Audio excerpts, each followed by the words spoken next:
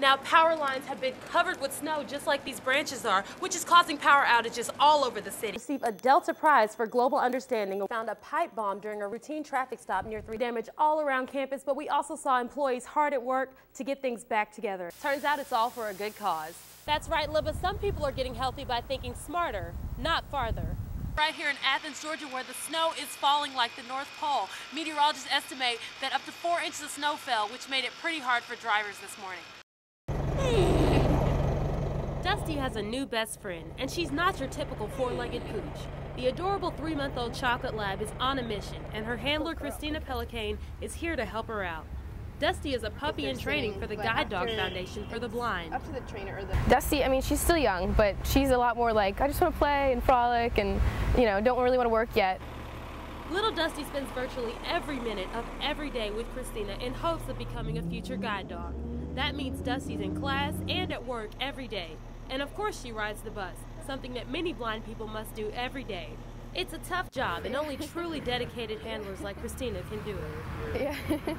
it's kind of like having a baby, to be honest, at this age at least, because I have to bring um, like a diaper bag pretty much. I have to bring trash bags for when she poops. I have to bring paper towels for she pees inside. I have to bring a food bowl and food with her for lunch. This labor of love will make a huge impact in someone's life. Dogs like Dusty will go on to make life easier for blind people across the country, right. but not before they go through several months of training under some strict guidelines. The rule is look but don't touch. In order for a handler to establish a bond with the puppy in training, that means hands off for other people. In addition to this, it's important that puppies are well disciplined so that they can be reliable for their future owners. In the meantime, Dusty has only a few more months of training with Christina, and he's well on his way to becoming the best guide dog he can be.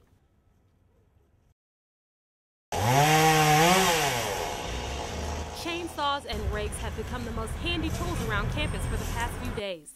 Sunday snowfall may have been beautiful, but the aftermath is not so pretty, and the UGA physical plant is left to clean up the mess. A lot of tree damage. I haven't seen much building damage. I've seen a couple cars damaged, windshields out. Most of the damage is right in the path of students and faculty and could be a hazard to everyone's safety. For the past few days, the plant has been working hard to get these problems cleared up so no one gets hurt. I've seen saw some accidents on the way in that probably didn't need to be. One of the plant's biggest jobs is disposing of the trees and branches that have fallen down. Many of them are laying in the streets and sidewalks, and the sheer size of many of these trees is making it a real task to move them quickly. It's not uncommon to see huge uprooted trees just like this all over Athens. The physical plant says it could take up to a week and a half just to get the campus back to normal. Slippery ice has also been a significant danger for people walking around campus, and one that's not easy to control. As temperatures rise this week, most of the ice will melt away. In the meantime, physical plant employees are putting in extra effort to keep the streets safe.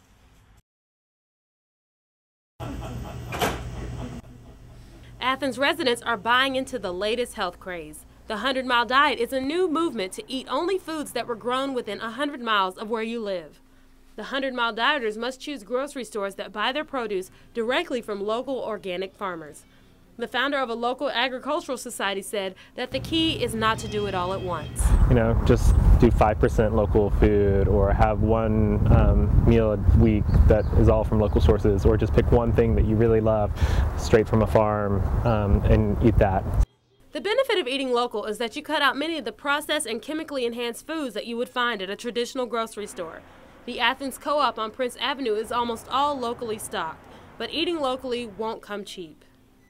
A lot of the customers here do like to try to get local things rather than, I mean, they'll buy things that cost more money if they're local than, than things that they could get cheaper that came from, you know, a thousand miles away and things like that. He finds that buying locally helps customers to have a better sense of community with the people who grow their food. And in the long run, buying locally is much less costly to our environment. One of the benefits of eating locally is that there's much less need for excess packaging. Vegetables like these came straight from farms right here in Athens. At the end of the day, the 100 Mile Diet is not one of those fad diets for people who want to lose weight quick. It's all about making good choices for a lifetime of good health.